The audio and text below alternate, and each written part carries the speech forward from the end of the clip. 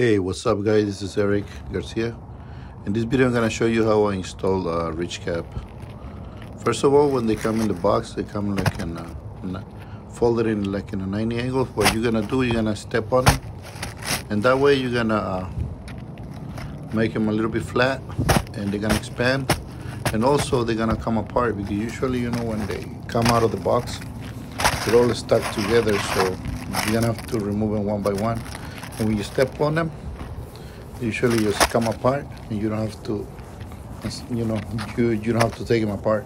Also when you put your when you install your first ridge put your uh, finger and just the tip of your finger that's supposed to be exposed on the on i mean overhang on the on the top of the ridge.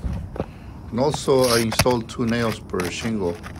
And right here it has a little notch so you have to you have to install the, the next shingle up to that notch, okay? You can pass that notch. Well, you can install whatever you want, you know, I don't care. Try to nail on top of the uh, glue, two nails per, uh, per piece. Uh, and that's gonna keep your uh, shingles together. Also, when you have two gables right here, let's say I got I got two gables on both sides you know finishing was well that's what i do. I don't care what you do. You know i'm just giving you this video. I'm making this video to show you how i do it. I usually like uh, finish them in the center. I measure and find the center and then i put another shingle on top.